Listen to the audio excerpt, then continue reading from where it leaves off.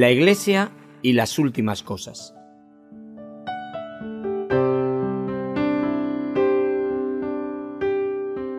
Un estudio expositivo sobre el fin de los tiempos a cargo del siervo de Dios, Loel Bruckner.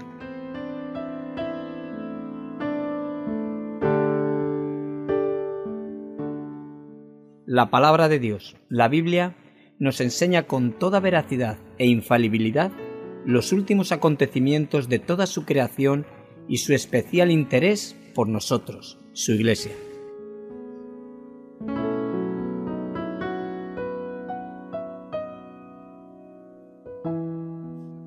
Entonces habrá señales en el sol, en la luna y en las estrellas, y en la tierra angustia de las gentes, confundidas a causa del bramido del mar y de las olas, desfalleciendo los hombres por el temor y por la expectación de las cosas que sobrevendrán en la tierra, porque las potencias de los cielos serán conmovidas. Entonces verán al Hijo del Hombre que vendrá en una nube con poder y gran gloria. Cuando estas cosas comiencen a suceder, erguíos y levantad vuestra cabeza, porque vuestra redención está cerca.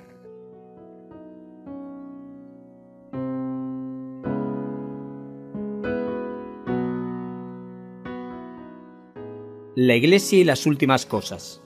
En Luz a las Naciones, canal cristiano de comunicación, ponemos a tu disposición la palabra de Dios.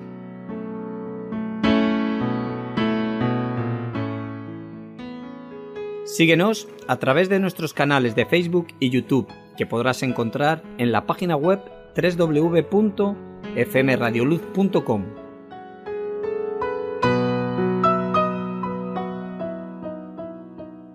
Si necesitas más información, los puedes llamar al teléfono gratuito 910 18 13. La Iglesia y las últimas cosas. Mas el fin de todas las cosas se acerca. Sed pues sobrios y velad en oración.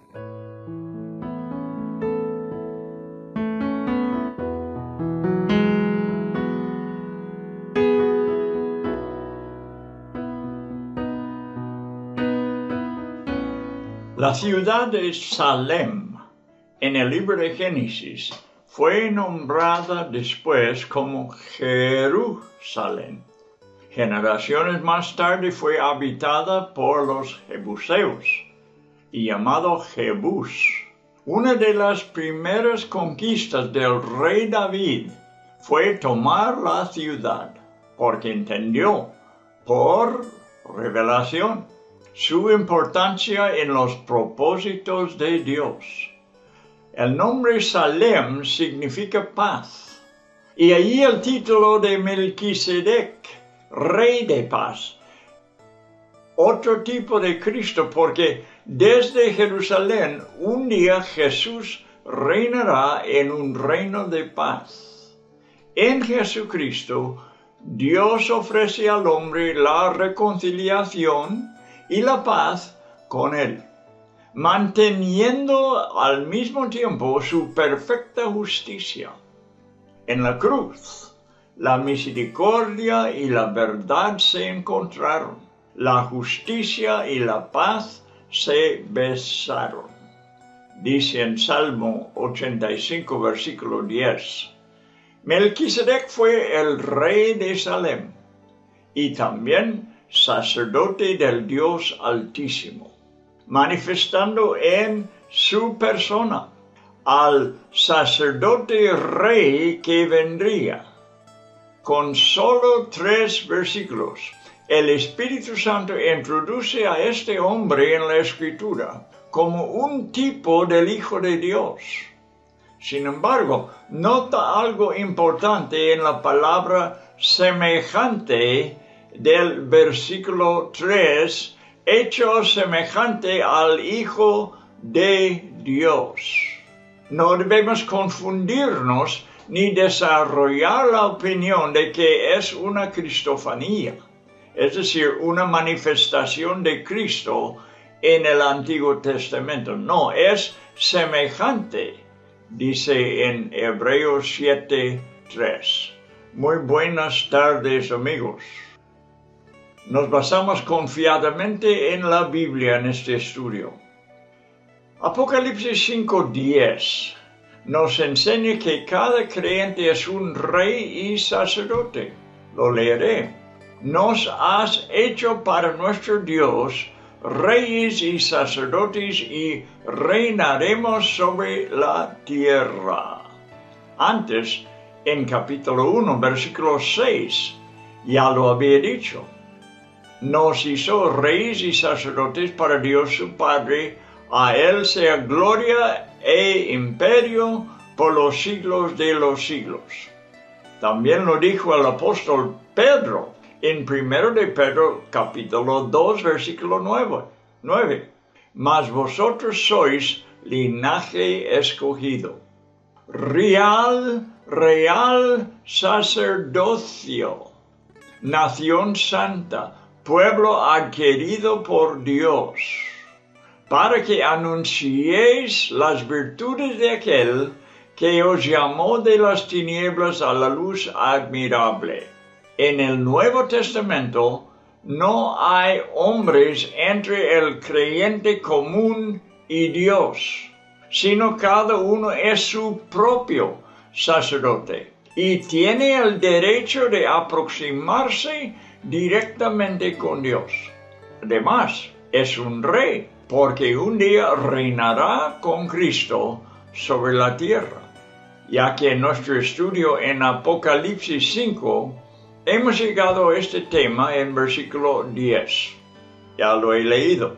Creo conveniente que estudiemos del sacerdocio real en Hebreos 7. Veremos que no es el sacerdocio levítico del Antiguo Testamento, y bajo la ley, sino que uno que existió mucho tiempo antes, en el libro de Génesis, durante la vida de Abraham. También veremos que es el sacerdocio que existe ahora y por toda la época de la iglesia y existirá eternamente. Así que es de mucha importancia para nosotros. Pues vamos a continuar el estudio sobre el sacerdocio de Melquisedec, empezando la lectura desde Hebreos capítulo 7, versículo 4 hasta 8. Y dice, considerad pues cuán grande era este. Está hablando de Melquisedec a quien aún Abraham el patriarca dio diezmos del botín. Ciertamente, los que de entre los hijos de Leví reciben el sacerdocio, tienen mandamiento de tomar del pueblo los diezmos, según la ley, es decir, de sus hermanos aunque estos también hayan salido de los lomos de Abraham. Pero aquel cuya genealogía no es contada de entre ellos, tomó de Abraham los diezmos y bendijo al que tenía las promesas. Y sin discusión alguna, el menor es bendecido por el mayor. Y aquí ciertamente reciben los diezmos hombres mortales, pero allí uno de quien se da testimonio de que vive.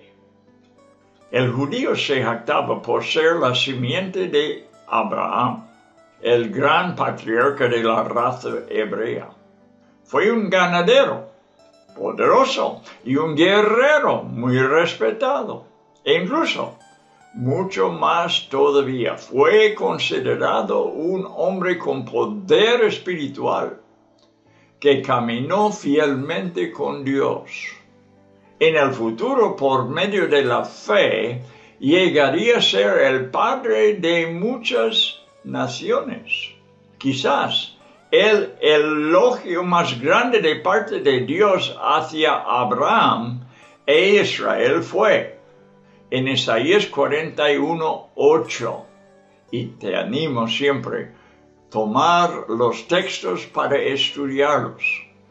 Porque este versículo dice, tú Israel, siervo mío eres, tú Jacob, a quien yo escogí, descendencia de Abraham, mi amigo. Sorprendente que Dios llama a un hombre su amigo. En el escritor del libro de Hebreos, el que descubre la grandeza de este hombre Melquisedec y lo descubre de acuerdo a la esfera de su revelación divina. Él ve irrefutables evidencias de que Melquisedec es más grande que Abraham. Y siendo así, le pone en la posición de ser probablemente el hombre más importante en todo el periodo del Antiguo Testamento. Quería que sus lectores, incluso tú y yo, consideráramos su altura espiritual y al mismo tiempo aprendiéramos acerca de los caminos de Dios, quien ensalza al menos conocido y humilla al más famoso. La primera prueba de la grandeza de Melquisedec es que recibe los diezmos de Abraham, dice en Hebreos 7, versículo 4.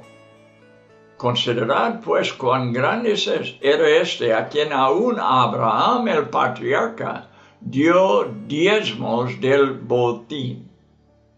Es un hecho bien establecido en el Pentateuco, el orden antiguo, que los hijos de Leví fueron los únicos cualificados para el sacerdocio. Se sostienen a través de los diezmos de todas las tribus.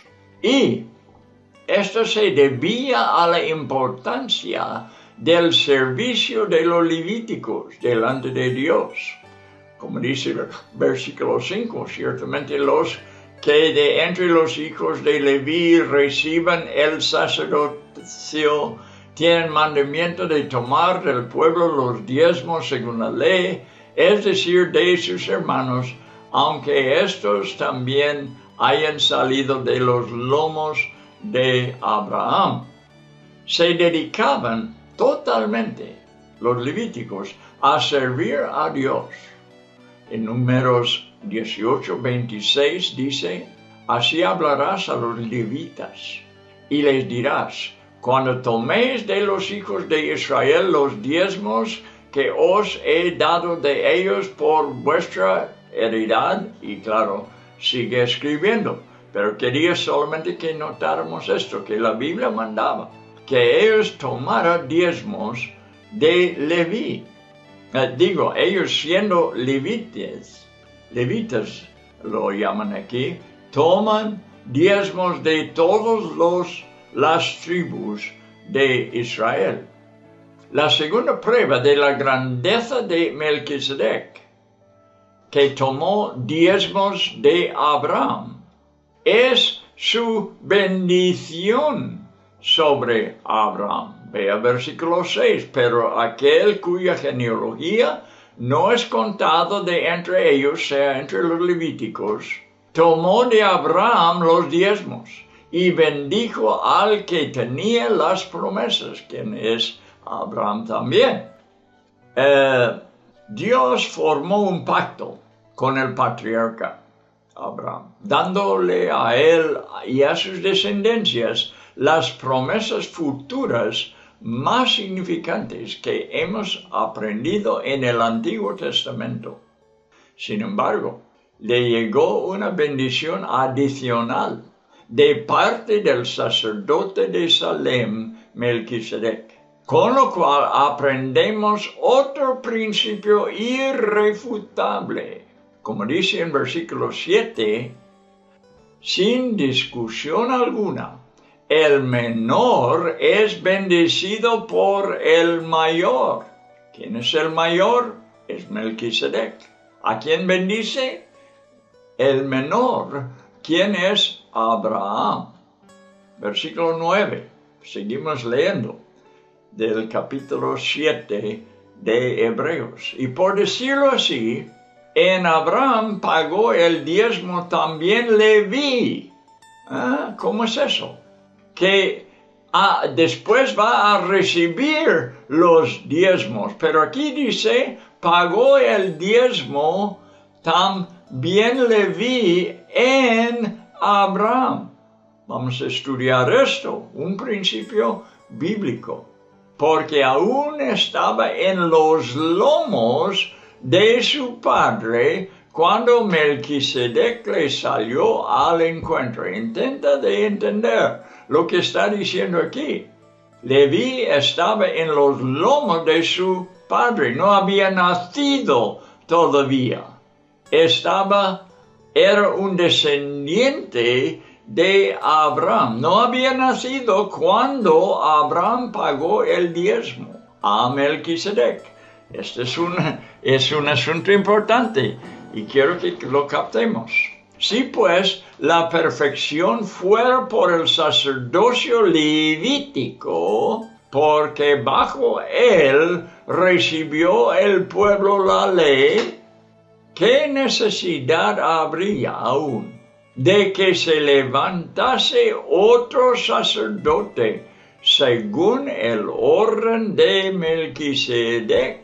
y que no fuese llamado según el orden de Aarón, o sea, Leví. Porque cambiado el sacerdocio, necesario es que haya también cambio de ley. Y aquel de quien se dice esto es de otra tribu, de la cual nadie sirvió al altar bueno, intentaré de explicar lo que el escritor está diciendo aquí. Estamos a punto de aprender un principio espiritual que aunque pienso que no se encuentra fuera de la Biblia, toma un papel, papel extremadamente importante en la revelación de los caminos y pensamientos de Dios. Leví, declara el escritor apostólico, pagó diezmos desde los lomos de su padre, no habiendo nacido. Leví, aunque todavía no había nacido, iba a ser un descendiente de Abraham, sea un bisnieto y estuvo en el patriarca pagando sus diezmos por medio de él. Te digo, hay que entender esto, hay que intentar de entenderlo, que por estar todavía en Abraham, cuando Abraham pagó los diezmos, él estuvo pagando los diezmos, sin haber nacido. Eh, nos cae un poco extraño, ¿verdad? Pero hay que entenderlo, porque vamos a ver algo muy, muy importante para nosotros, de estar en alguna antepasado, algún antepasado. ¿Te parece extraño, verdad? Pues no es la única vez que esto ocurre en los escritos inspirados. De hecho, está involucrado en algunos de los principios más significantes en la historia de la raza humana. Pablo escribe, así como, escucha, así como en Adán, Leví en Abraham pagó los diezmos. Así como en Adán nosotros y toda la humanidad, todos mueren. También, escucha, en Cristo, todos serán vivificados. Se encuentra esto en 1 de Corintios 15, 22. Sería muy bueno apuntar este texto para estudiarlo con la lección que estamos dando aquí. es precisamente el mismo principio. El principio de que Leví pagó diezmos en su bisabuelo.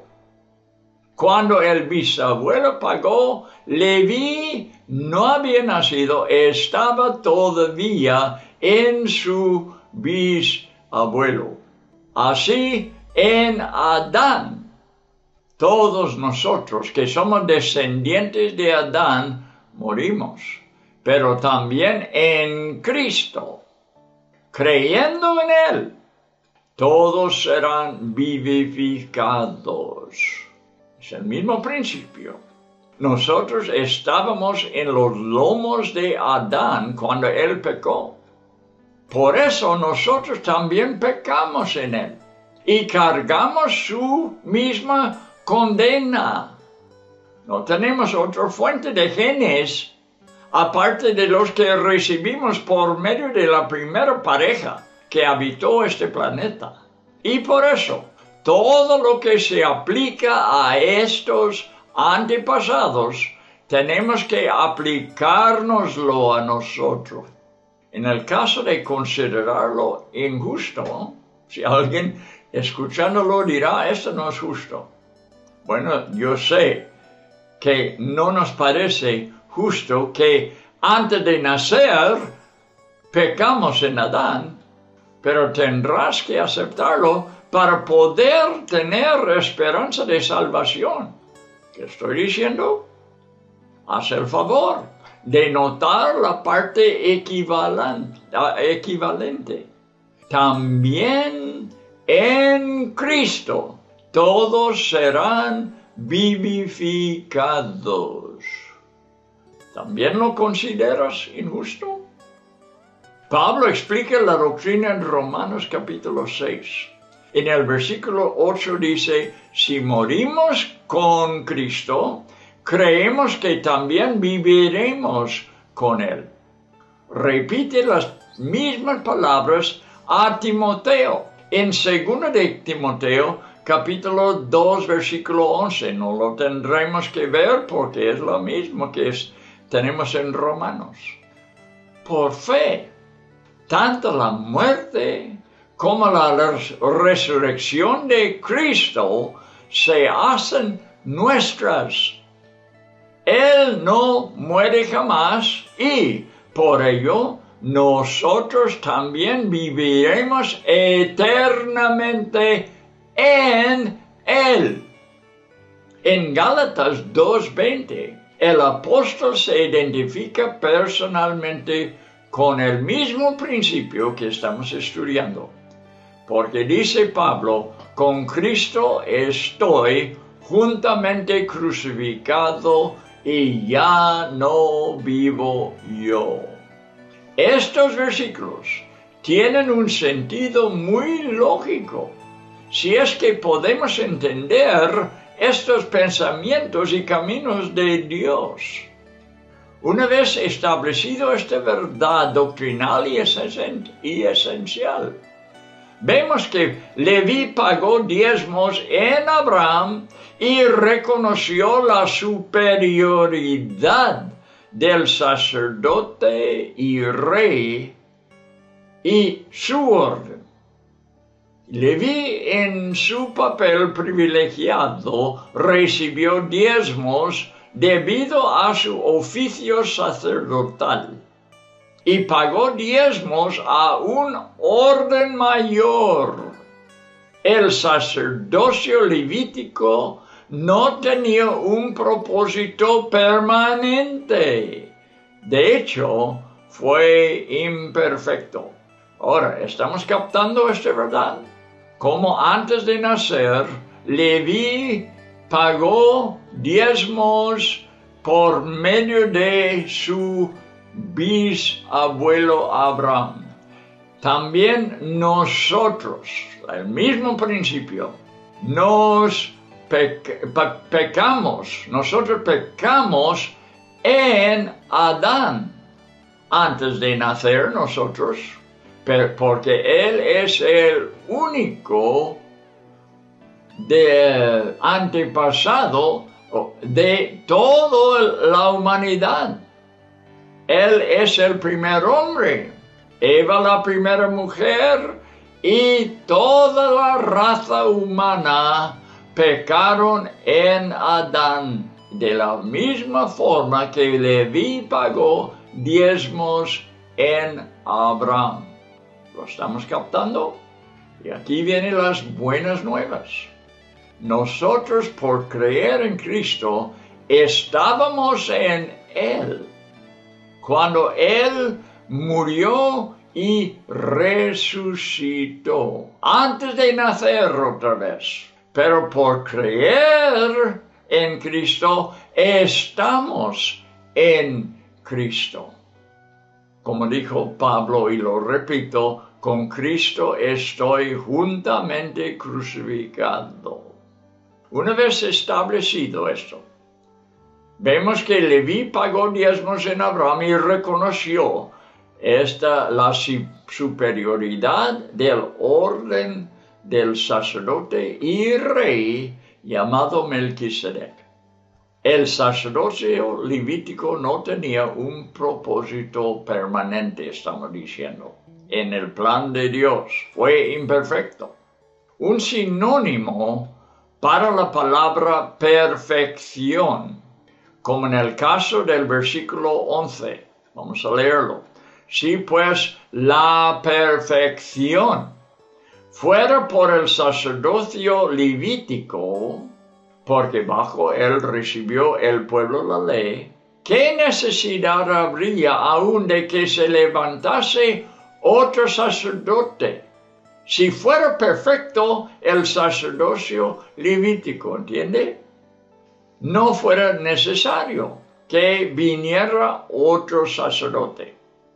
Es que el sacerdocio levítico fue imperfecto. Eso es lo que vamos a leer y, digo, vamos a aprender este principio ahora. Bien, eh, un sinónimo para la palabra perfección es lo que es verdadero. Verdadero y perfección son sinónimos, según Dios. En Hebreos 9 leemos sobre un verdadero tabernáculo, o sea, un tabernáculo que perfecto, perfecto. En Juan 15.1, Jesús dijo, yo soy la vid verdadera. ¿Qué quiso decir? Yo soy la vid perfecto, perfecta. Ninguna de las vides que hayan existido jamás es una verdadera vid según el sentido bíblico. Y eso es lo que hay que captar, cómo la Biblia ve las cosas. Nosotros tenemos que verlo. El Padre solamente se involucra con la perfección. El tabernáculo y los templos del Antiguo Testamento no eran perfectos y por eso no fueron permanentes. David profetizó en el Espíritu acerca de un sacerdote del orden del Melquisedec, de Melquisedec, alguien totalmente fuera de pertenecer a la orden de Aarón, sea Leví, porque Aarón era el padre de Leví, era el primer sumo sacerdote era necesario que Dios avisara por medio de una profecía, ya que él mismo había establecido el sacerdocio de Aarón bajo el Sinaí. El pueblo tenía que saber que Dios no tenía la intención de seguir permanentemente con este orden sino que solamente era una sombra de lo porvenir. El sacerdocio de Aarón estuvo intrínsecamente enredado con la ley ceremonial mosaico, mosaica, demostrando que también era perfecta. Y tampoco, perdón, era perfecta. Déjame decirlo otra vez. El sacerdocio de Aarón estuvo intrínsecamente enredado con la ley ceremonial mosaica, demostrando que tampoco era perfecta. La ley demandaba estrictamente que, aparte de la tribu de Leví, ninguno podía ser sacerdote. Tanto el sacerdocio como su ley fueron establecidos bajo el monte Sinaí. Pero ahora el escritor está refiriéndose a otro sacerdote que no es de la tribu de Leví. Aunque es en el siguiente versículo cuando nos dirá a qué tribu pertenece, sabemos que de ella nunca nadie entró en el templo ni atendió el candelabro ni la mesa de la proposición, ni quemó incienso sobre el altar. Nadie de ese tribu. ¿Cuál tribu? Lo vamos a ver. Por supuesto, tampoco entró jamás en el lugar santísimo, en el día de expiación, para hacer expiación por el pueblo según nos dijo versículo 13, y aquel de quien se dice esto es de otra tribu, de la cual nadie sirvió al altar en el tabernáculo y en el templo. Este nuevo sacerdote del orden de Melquisedec no tenía que ver con cosas materiales él fue el cumplimiento de lo que era sombra en el tabernáculo. Seguiremos leyendo y veremos quién, de quién está hablando aquí y de qué tribu era. Versículo 14. Porque manifiesto es que nuestro Señor Jesucristo vino de qué tribu? de la tribu de David, de, de Judá. O sea, era hijo de David, que era también de la tribu de Judá. Jesús nació de la tribu de Judá.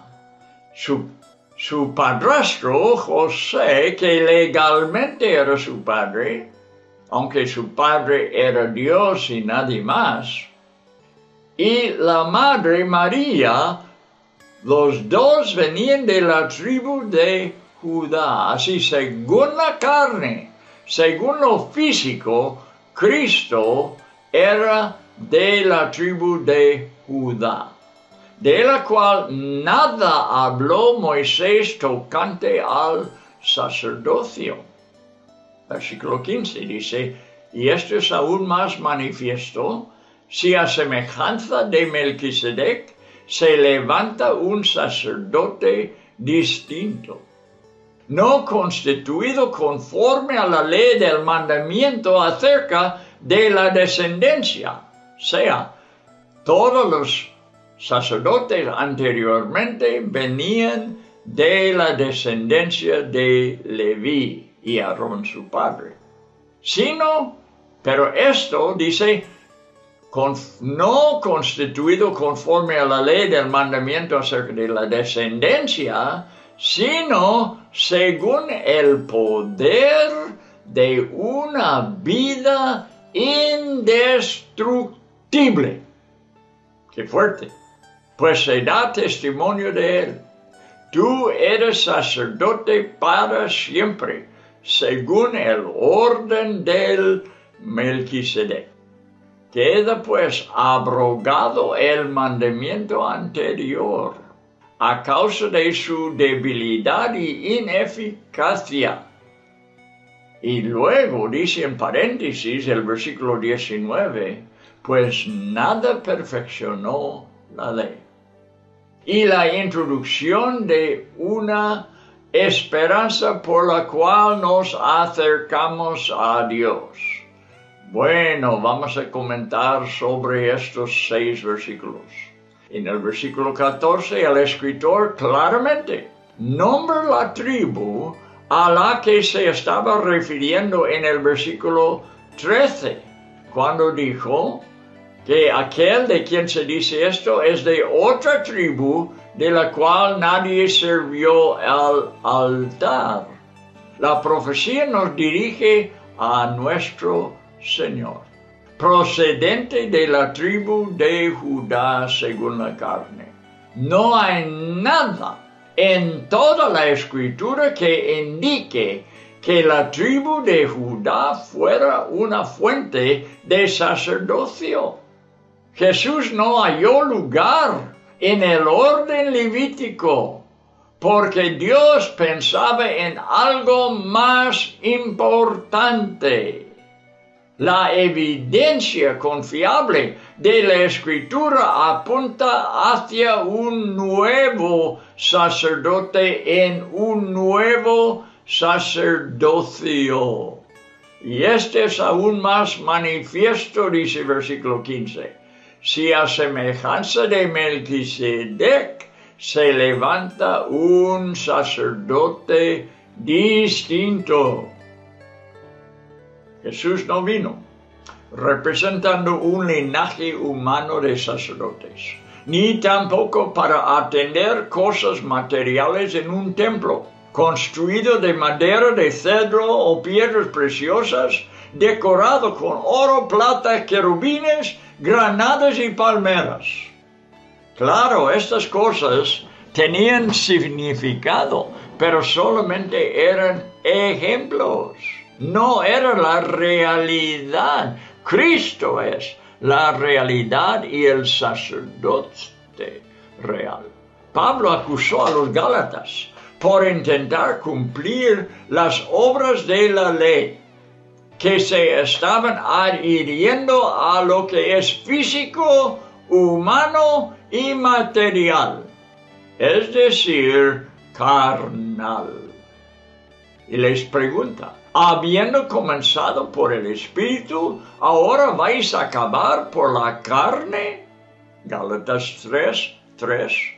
El sacerdote que revela David en su Salmo 110, el primer versículo, es uno no constituido conforme a la ley del mandamiento acerca de la descendencia captando el contraste incomparable que sigue, que Él, Cristo, no es constituido conforme a un mandamiento de la ley. Entonces, ¿conforme a qué? Pues lo dice también el mismo versículo, sino según el poder de una vida indestructible. Estas son palabras que provocan un gran clamor Aleluya. Ninguna riqueza o maravilla puede representar adecuadamente la gloria sin igual de aquel que vino y trajo la perfección con él. El escritor cita la profecía de David. Podemos verlo cuatro veces en el libro de Hebreos. Y aún no ha terminado porque lo vamos a ver otra vez, pero el versículo 17 lo dice, tú eres sacerdote para siempre según el orden de Melquisedec. Y está citando el Salmo de David. Lo va a hacer otra vez, le digo. Bien, lo contemplaremos una vez más en este capítulo. La ley no puede combinarse con la gracia. Nunca. Pablo dijo, echa fuera a la esclava y a su hijo, que representaba la ley, porque no heredará el hijo de la esclava con el hijo de la libre, que representaba Jesús. Gálatas 4:30. Entonces dijo, si os circuncidáis, de nada os aprovechará Cristo por cumplir la ley, no os aprovechará Cristo. Él viene según el poder de una vida indestructible. El mandamiento es anulado, es débil y sin provecho. Pablo también dijo que la ley había venido 430 años después de la promesa dada a Abraham. La ley no fue la primera declaración que cayó de los labios de Dios, sino que fue una promesa. La ley no es el propósito final de Dios, será anulada. Dios obra con la perfección y la ley no hizo nada perfecto, escribe el apóstol. Dios obra con la esperanza. La esperanza es un atributo de la naturaleza de Dios. Escucha Romanos 15, 13. El Dios de la esperanza, dice Pablo para que abundéis en esperanza por el poder del Espíritu Santo. El Espíritu Santo nos habla de una esperanza que está anclada en el lugar santísimo, dice Hebreos 6:19. Lo puedes apuntar para leerlo. Y ahora nos anuncia la introducción de una mejor esperanza He aquí el propósito de Dios desde la creación del mundo. Él ofrece intimidad eterna de amor con Él para que tengamos comunión. Ha designado una manera en la cual podamos acercarnos a Él según versículo 19, lo voy a leer otra vez. La introducción habla de la introducción de una mejor esperanza por la cual que nos acercamos a Dios. Podemos acercarnos a Dios por lo que hizo Cristo. Ahora, cinco versículos más. Versículo 20. Y esto no fue hecho sin juramento. Va a agregar otra cosa aquí el escritor de Hebreos. Porque los otros ciertamente sin juramento fueron hechos sacerdotes. Entonces cuando Dios hizo el sacerdocio levítico, no juró. Pero este, Cristo, con el juramento, del que le dijo, juró el Señor, y no se arrepentirá, no va a cambiar. Y dijo, tú eres sacerdote, otra vez, Salmo 110, tú eres sacerdote para siempre, según el orden de Melquisedec. Por tanto, Jesús es hecho fiador de un mejor pacto, el Nuevo Testamento pues. Y los otros sacerdotes, sigue versículo 23, llegaron a ser muchos. ¿Por qué? Los de Aarón, los de Leví, llegaron a ser muchos. ¿Por qué? Debido a que por la muerte no podían continuar. Así que había nuevo sacerdote cada generación. Muchos nuevos porque los primeros murieron. Los anteriores murieron y seguía con el sacerdocio sus hijos, sus nietos, sus bisnietos. Versículo 24. Más este, Jesús, del orden de Melquisedec, por cuanto permanece para siempre, tiene un sacerdocio inmutable. No cambia y no cambiará eternamente. el Padre introdujo a su sacerdote al orden de Melquisedec con un juramento, dice versículo 20. Repasaremos lo que hemos aprendido hasta ahora sobre la superioridad del orden de Melquisedec. Número uno, Melquisedec es rey y sacerdote ante el Dios Altísimo.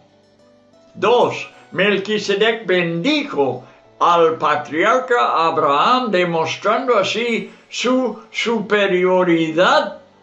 Tres, Abraham pagó el diezmo a Melquisedec porque reconoció que la posición de Melquisedec ante Dios era más alta que la suya. 4. Melquisedec es semejante al Hijo de Dios, ya que la Biblia no nos da su genealogía, ni menciona padre o madre, ni tampoco presenta algún certificado de nacimiento o muerte. Versículo 5, ah, la, quinta razón. Leví, menor que Abraham, pero escogido como el recipiente humano de diezmos, pagó diezmos por medio de Abraham a Melquisedec. 6. El orden de Melquisedec existía, escucha, antes del sacerdocio levítico y continuó sin fin, lo cual significa perfección. 7. La ley sobre el orden de Melquisedec fue diferente, ignorando al sacerdocio descendiente de Leví. Cristo entró en el sacerdote docio, no por derecho de tribu, sino según el poder de una vida indestructible. Este es lo que calificó a Cristo como sumo sacerdote. 8. Ahora aprendemos que Él entró al orden por el juramento del Padre, dice versículo 20. Juró el Señor y no se arrepentirá. Ya no estamos hablando de Melquisedec, sino el cumplimiento de todo lo que él representó en la persona del Señor Jesucristo. El escritor inspirado vuelve otra vez a la profecía poderosa, proponiendo su majestuosa autoridad y su eterna significancia. No por la pluma de un notario, ni por decreto de la Corte Suprema de un gran imperio, sino por la autoridad es decir, la palabra inerrante, seguida de un juramento confirmado del Omnipotente, confiable Señor del universo. Jesús de Nazaret es fiador de un pacto infinitivamente, infinitivamente mejor la palabra fiador significa uno que garantiza que los términos de un acuerdo serán llevados a cabo. Jesucristo como el Dios hombre nos asegura que los términos del Nuevo Testamento serán llevados a cabo eternamente. Él selló el pacto con su sangre como sacerdote del orden de Melquisedec. Estamos estudiando múltiples puntos, todos ellos basados sólidamente sobre la escritura del Nuevo Testamento. Y en el versículo 23 vemos otro. Cada sacerdote del orden levítico tenía que ser reemplazado debido que por la muerte no podían continuar. Al escribir sobre los sacerdotes en las ciudades de refugio del Antiguo Testamento, estábamos tratando este mismo asunto. La persona que huía a tal ciudad estaba bajo la protección del sacerdote residente hasta su muerte. Al morir, el refugiado estaba obligado a salir, poniendo su vida en peligro, ya que el vengador de sangre podía encontrarle. Su futuro no era seguro. Estaba siempre amenazado por la muerte del sacerdote. Pero los que confían en este nuevo sacerdote y someten sus vidas a su cuidado, no tienen este riesgo. Nadie tomará su lugar. No va a morir, ya que su sacerdocio es inmutable, porque su oficio no está limitado por la muerte, sino que es infinito y eterno. La palabra griega inmutable significa válido e inalterable. Los griegos terminaron sus contratos legales con esta palabra. Las palabras de Cristo mismo son, porque yo vivo, vosotros también viviréis. Juan 14, 19. Es una garantía inmutable. Bueno amigos, vamos a terminar el estudio sobre el orden de Melquisedec en el siguiente programa.